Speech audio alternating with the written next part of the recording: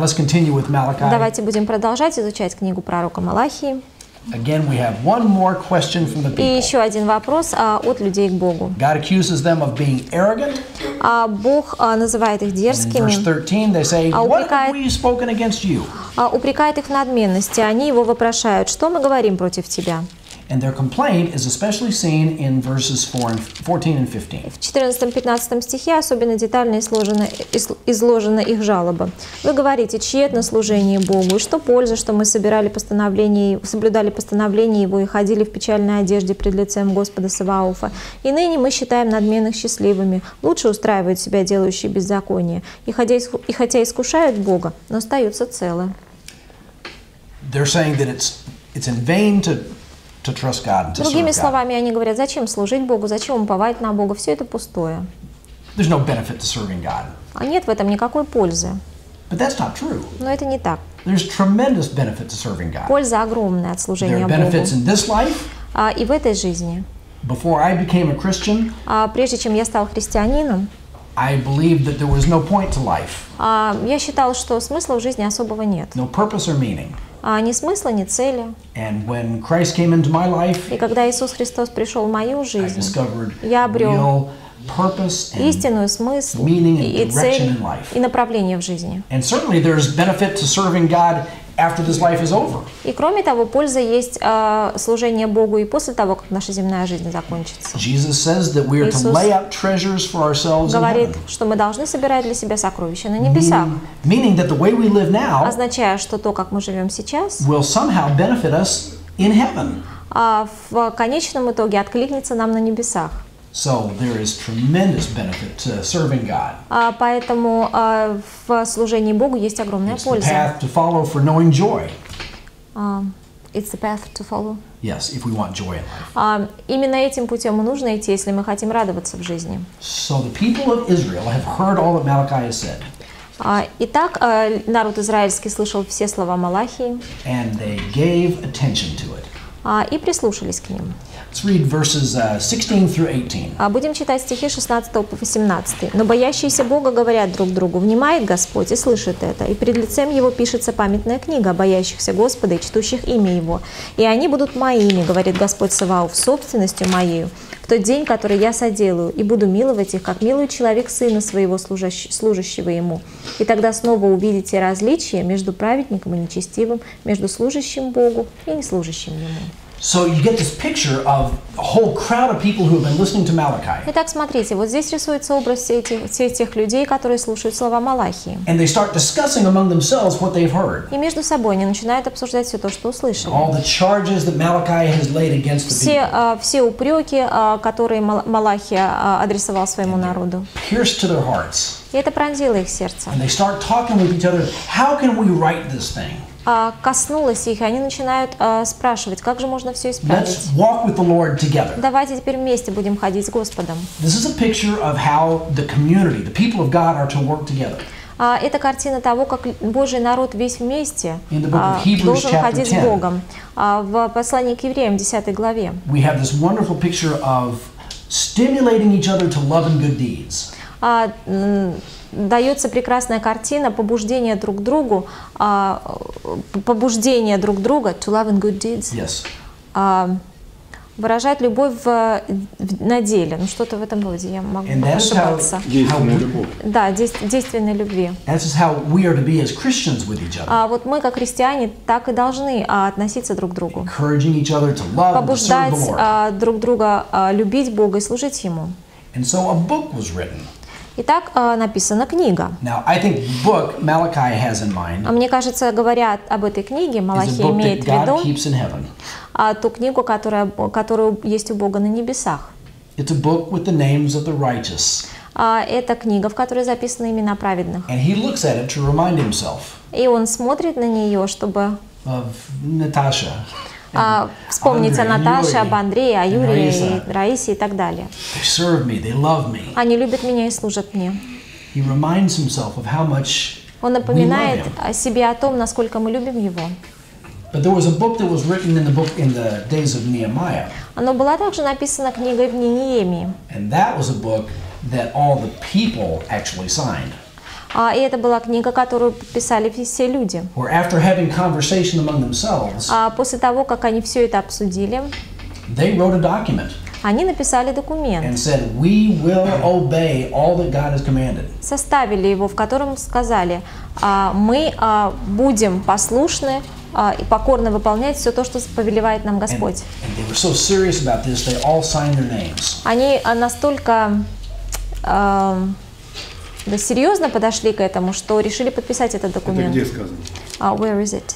It's in Nehemiah uh, chapter 9. I think at the end Девятая- of Nehemiah chapter 9. А, Девятая Chapter глава ближе к концу книги Неемии. Ладно. Yes, 9 and then 10. А, 9 и 10.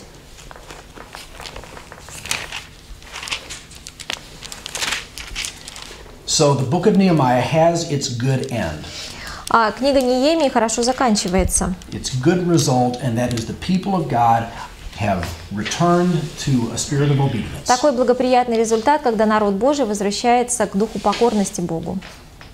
Now we come to the last chapter of the last book of the Old Testament. И вот с этим мы подходим к последней главе, последней книги Ветхого Завета. We have first a picture of purification А, вначале нам дается, а, карт- рисуется картина очищения in verse Вопрос 1. можно?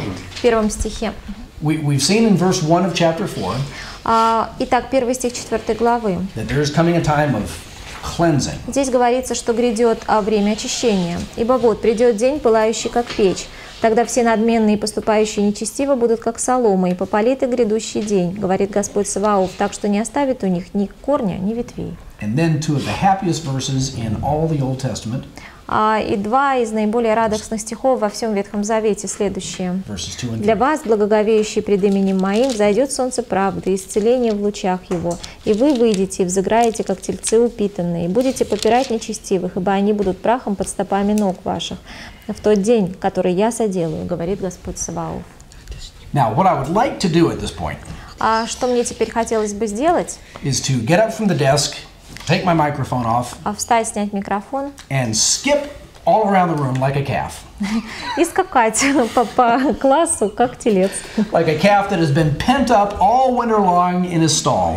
Как тот самый телец, который в стойле простоял всю And the зиму. warm weather is finally here И, наконец, наступила теплая погода. and can be released to go run out in the pasture. Вот меня выпустили на пастбище, и хочется по этому пастбищу поскакать. And that is the kind of joy that people who serve the Lord know.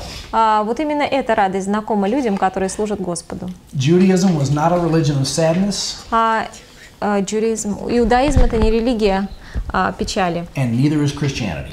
и христианство это не религия печали. There is exuberance and celebration. Радость и веселье, радостное возбуждение сопровождают эти религии, не так ли? Yes, Характеризует we, we их. can know the joy of the Lord. А мы можем знать радость Божию. And so this is a wonderful picture И это великолепный образ, великолепная картина. right before the last warning. А, и перед последним предупреждением. Которая 6. дается в 4, 5 и 6 стихах. «Помните закон Моисея, раба моего, который я заповедал ему на Хариве для всего Израиля, равно как и правила и уставы. Вот, я пошлю к вам Илью, пророка, перед наступлением Дня Господня, великого и страшного, и он обратит сердца отцов к детям и сердца детей к отцам их, чтобы я, придя, не поразил земли проклятием». The Jews are to remember all the commands that Moses gave at Mount Sinai. Итак, а, и евреи должны помнить а, все постановления, которые были даны Моисею. Soon and very soon, Messiah Скоро, is coming back. очень скоро Мессия вернется. Elijah is coming back before him. А до этого придет Илья. And I think that too is a reference to John the Baptist. А мне кажется, что здесь имеется указание на Иоанна Крестителя, Came in the spirit of Elijah. который пришел в духе Илии. And then the book ends with a warning. И дальше книга заканчивается предупреждением. The way a book ends is, uh, is always very important. Вот э, заключительные строки или стихи книги всегда имеют большое значение. The last word of the book of Acts is the word unhindered. А, а последнее слово книги Деяний апостольских звучит так. Так. А, со всяким дерзновением невозбранно. Is it? Okay, Невозбранно. Um, among the last thoughts in the book of Ecclesiastes is a reference to evil. А одной, одна из последних мыслей а, книги в Экклесиасте указывает на зло, на нечестие.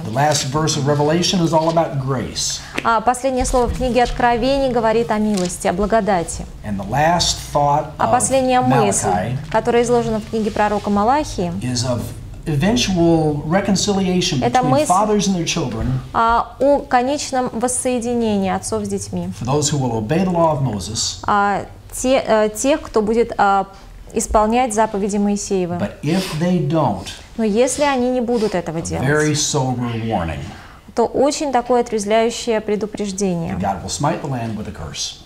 А Бог так, поразит землю проклятием. И вот на этой мысли Ветхий Завет заканчивается. would be silence from God for over 400 И Бог будет более 400 лет молчать. Пока. Иоанн Креститель а, не родится Prepare the way of the Lord. а, и начнет проповедовать «Приготовьте путь Господу, Repent, for the kingdom of God is at hand. а, ибо Царство Господне грядет». Близко. That is Malachi. А, вот так заканчивается книги, про- книга пророка Малахии. Большое дело начинается с малого пожертвования. И пятью хлебами можно накормить пять тысяч человек. Поддержите наш проект молитвой и финансами. Информацию, о чем молиться и как пожертвовать, вы можете найти на сайте tvseminary.com.